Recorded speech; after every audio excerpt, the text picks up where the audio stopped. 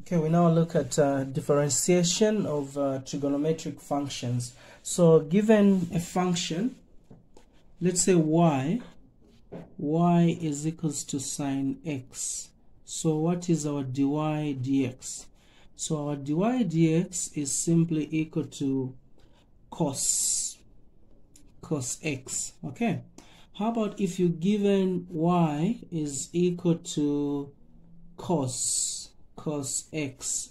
So here our dy dx is simply equal to negative sine x. Okay. What if you're given something like this? Okay. y is equal to sine u. Okay. Where u is a function of x. So how do we get to find the derivative of sine u where u is a function of x? So just say dy dx is equal to the derivative of the function u okay? Then the whole thing the derivative is just what? Is just cos okay? Then we say cos u. Cos u okay? Let's say we have uh, y is equal to sine 4x okay so sine 4x, what will be our dy dx? So in this case, our dy dx, we are saying our u is this one, okay?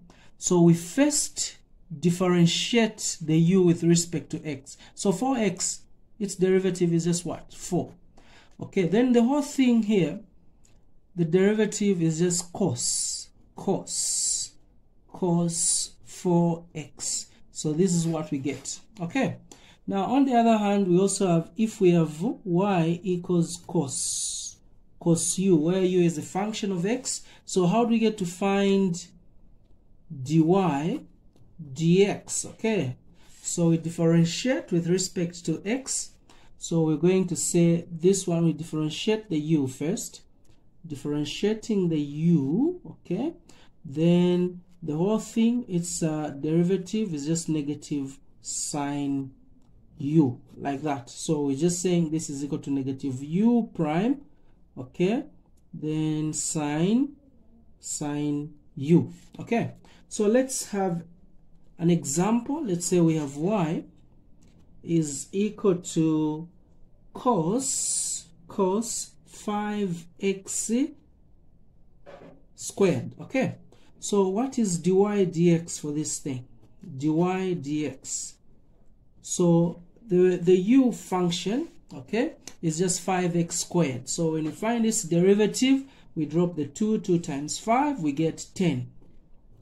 Then the power, subtract 1, we just remain with 1. So it's just x to the power 1, which you can just write as 10x. Then the, the whole thing now, the derivative is just going to be negative sine, sine, okay, the same function, x squared like that okay?